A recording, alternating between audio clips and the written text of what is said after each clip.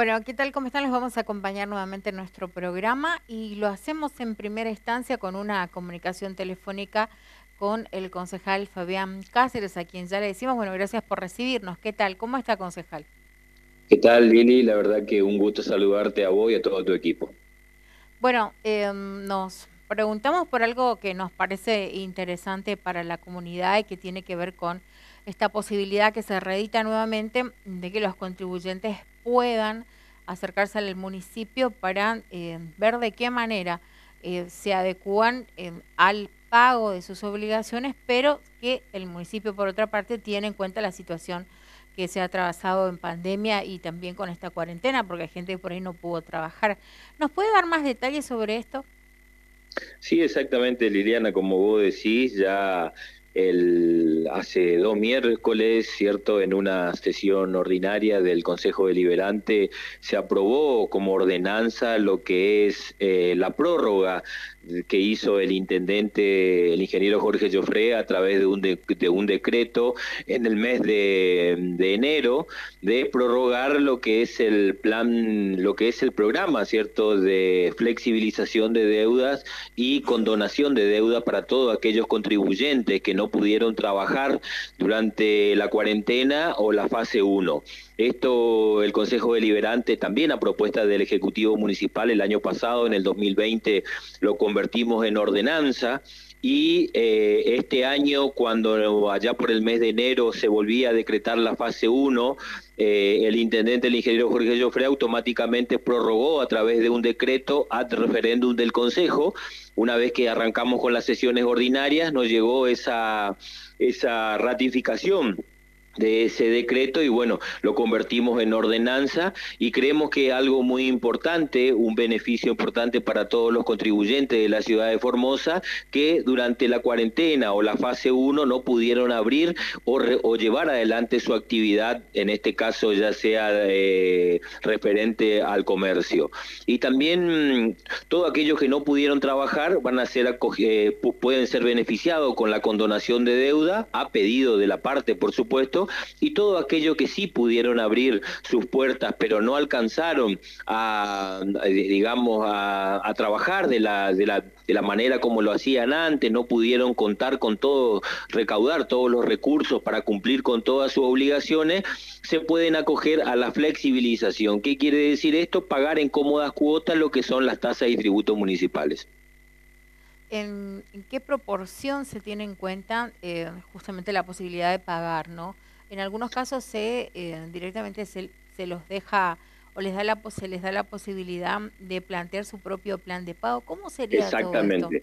Eh, a, todos aquellos que no que no que no pudieron trabajar, que no abrieron sus puertas, eh, automáticamente a pedido, a solicitud del, del contribuyente, eh, se le condonan todas todas las deudas que hacen a su actividad comercial, ya sea lo que graban su actividad comercial, como también si paga un local no va a pagar su su, su tasa única, no va a pagar su su, impuesto inmobiliario, es decir, todo lo que graba su actividad, esa persona que no pudo trabajar, ese contribuyente que no pudo trabajar, no, se le condona automáticamente cuando lo solicita el municipio.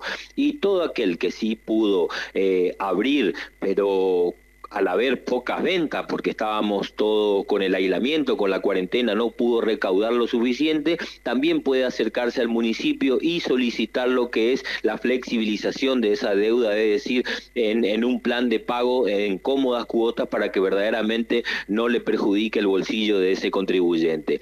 Eh, como te decía, creemos que algo importante para todos los vecinos de la ciudad, que ya desde el año pasado estaba en vigencia y a partir de este año se prorrogó hasta el 30 de julio. En primer, en primera medida.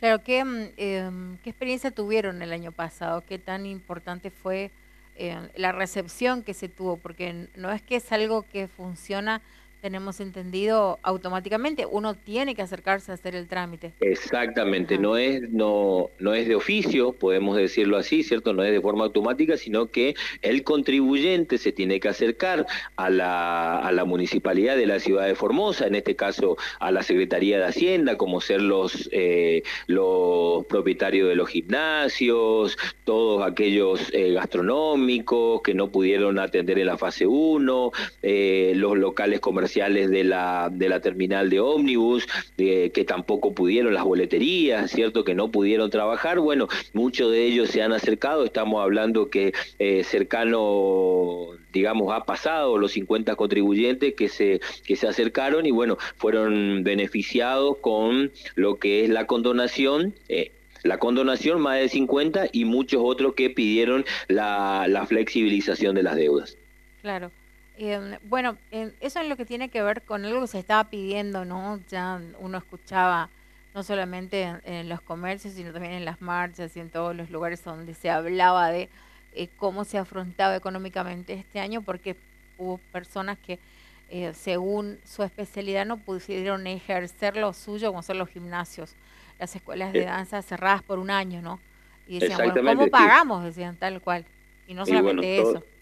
Todas estas personas, todos los propietarios de los gimnasios, escuelas de danza, y como te digo, porque me toca muy de cerca, eh, mi mamá justamente eh, tenía un negocio en la terminal de ómnibus, bueno, muchos de ellos también fueron beneficiados con lo que es la condonación de deudas, se acercaron y pudieron justificar su imposibilidad de trabajar debido a que eh, no contábamos con el servicio de transporte de media y larga distancia, entonces ellos tampoco podían abrir sus puertas en ese, en ese lugar no, no pudieron trabajar y bueno, automáticamente cuando justificaron su, su digamos, que eh, su imposibilidad de trabajar, se les condonó la deuda. Eh, Fabián, em, de lo que tenemos entendido recientemente, bueno, me va a permitir cambiar el tema, eh, se trató una ordenanza que posibilitaba que, bueno, un empresario formoseño pudiera trabajar dando lugar a, al menos a 10 familias para que puedan también tener el derecho a un trabajo digno, ¿no? Eh, fue cuestionada la votación, ¿no? no sé si por ahí merece algún tipo de reflexión, no, no fue acompañado en su totalidad por todo el cuerpo dentro de lo que es el Consejo. Sí, la verdad que es una ordenanza que se votó el miércoles pasado en la sesión ordinaria Liliana, donde en primer lugar tenemos que explicarles a los vecinos de la ciudad de Formosa que la concesión que hizo el municipio a, este emprendedor, a este empresario local es de un espacio en lo que es el circuito gastronómico que forma el paseo ferroviario. Eh, nosotros, eh, digamos, vamos desde la, la gestión del intendente, el ingeniero Jorge Joffre, vamos a seguir trabajando para los vecinos, para y por los vecinos de la ciudad y en este caso también para que los emprendedores, aquellos empresarios, ya sean jóvenes empresarios o la edad que tengan, puedan seguir apostando a esta ciudad y en este caso, como vos bien lo decías, esta persona ha salido por distintos medios, es decir, yo voy a dar trabajo en primer lugar a 10 formoseños, mano de obra genuina formoseña. Bueno, nosotros creemos que eh, eh, la oposición va a seguir con ese con esa postura de oponerse al solo hecho de, ser oposición y bueno, nosotros vamos a seguir por este camino apostando a todos aquellos que quieren eh, trabajar por una Formosa turística, en este caso dentro de ese paseo gastronómico que, forma parte del paseo ferroviario y por supuesto brindando todas las posibilidades para que, que aquel emprendedor pueda trabajar y dar mano de obra acá en nuestra querida ciudad. Eh, Fabián, bueno, sería por una picardía no preguntar también, ¿no? ¿Qué eh, reflexión hacen con estas nuevas medidas que tenemos desde Presidencia de la Nación? Nos ha tocado a Formosa como ciudad y también a Clorinda eh, por tener, bueno, tan altos hoy por hoy eh, la cantidad de contagios que se dan diariamente, ¿no? Em, ¿qué, le parece? La gente va, mm, estamos digo, a la, a la altura del desafío, la comunidad está respondiendo como se debe o por ahí todavía hay cositas que deberíamos eh, tomar un poco más de conciencia o por ahí acomodar mejor? Y bueno, mira, Liliana, yo creo que esta pandemia que azota al mundo entero nos ha demostrado que verdaderamente se puede llevar muchas vidas. Eh, en el mundo murieron muchas personas, eh, en la Argentina eh, no está alejado a eso, muchos argentinos, compatriotas murieron y acá en, nuestra querida Formosa quedó demostrado que todas las medidas sanitarias que llevó el gobierno estaban apuntados a cuidarnos a todos los formoseños. Y por más que algunos, algunos opositores que verdaderamente eh, eh, no, no, no coinciden con nuestra postura y se burlen de ese dicho de que cuidamos y apostamos por la vida, por cuidar la vida de los 640 mil formoseños, quedó demostrado que las medidas eran acertadas y eran necesarias. Hoy, hoy gran parte de la Argentina, el país entero, está tomando estas medidas, ¿cierto? Donde queda demostrado que tenemos que aprender a cuidarnos entre todos.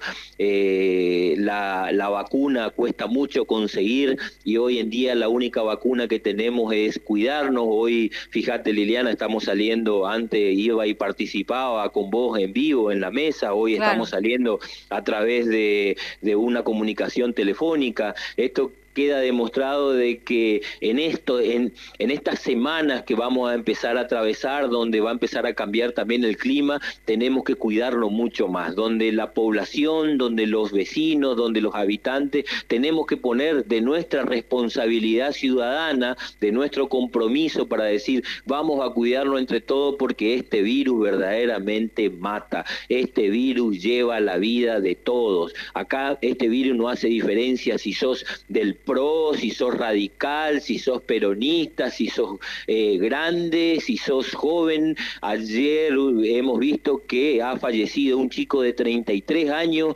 en la ciudad de Clorinda sin ningún tipo de enfermedad de base. Esto significa que verdaderamente tenemos que cuidarnos entre todos y mucho más a nuestros padres, a nuestros abuelos y por supuesto a nuestros hijos. Gracias por la comunicación, Fabián. La verdad que muchísimas gracias a vos y un saludo grande para todo tu equipo. Bueno, conversamos con Fabián Cáceres en este nuestro primer bloque. Hacemos una pausa, ya volvemos haciéndole compañía en esta noche.